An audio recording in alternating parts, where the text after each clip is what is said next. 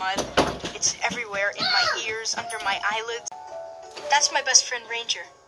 Ranger and I have been friends for so long, our mothers used to put us in the bath together.